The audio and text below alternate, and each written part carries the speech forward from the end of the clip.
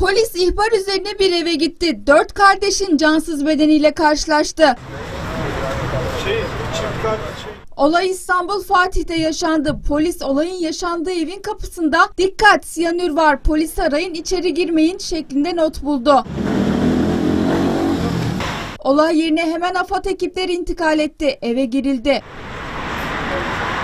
Ekipler yaşları 48 ile 60 arasında değişen ikisi kadın dört kardeşin cansız bedeniyle karşılaştı.